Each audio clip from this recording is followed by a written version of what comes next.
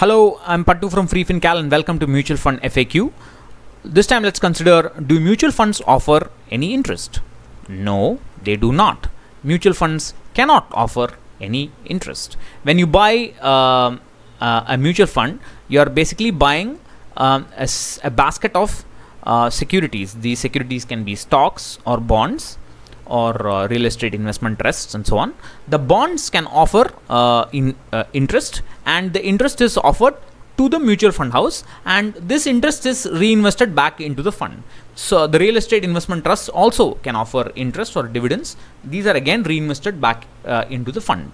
The fund does not give any kind of interest to the unit holder simply because it cannot. All a mutual fund does is um, it offers you uh, units at a particular NAV, and this NAV, which is the cost price per unit, can fluctuate up and down uh, depending on the uh, demand and supply forces in the market for each of the individual securities. And you buy at a particular NAV and you sell at a particular NAV.